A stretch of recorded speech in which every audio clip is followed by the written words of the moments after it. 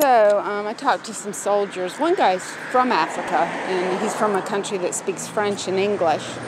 And he got selected by a lottery to come to the United States and be in the army, and he's pleased.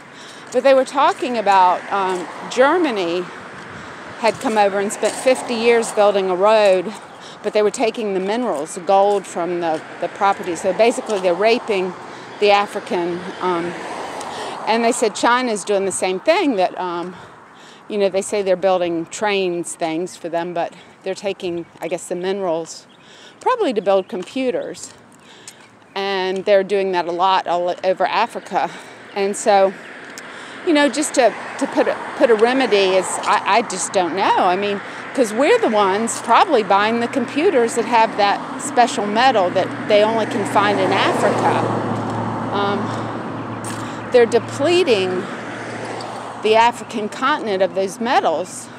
I don't. They say they're putting trains in, but we need schools. We need we need dental schools. We need to people to go to tradesmen schools. Um, so maybe China could put in schools because there will be a day and age in which those metals are no longer available, and we absolutely will have to recycle every little bit that we have.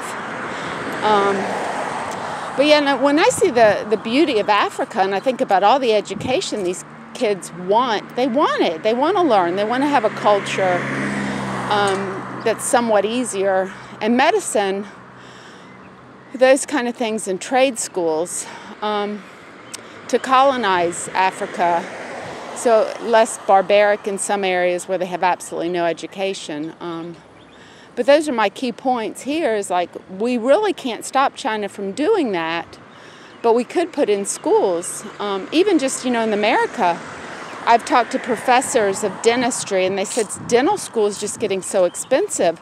And I meet poor people that have really bad trouble with their teeth. So if we could just do kind of layman's dentistry to help these poor people with their teeth and get those screw in teeth, get that more prevalent in our culture. You know, you're much healthier if you have your teeth.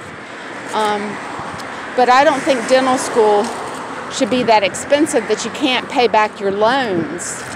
That is something we really need to work on, dental hygienists and dentists and things like that, because that, that profession is, is a much needed profession, um, even here in the United States. And if we could make that um, plausible in third world countries, that they're getting the training they need to do that, I think that would help all of the world over.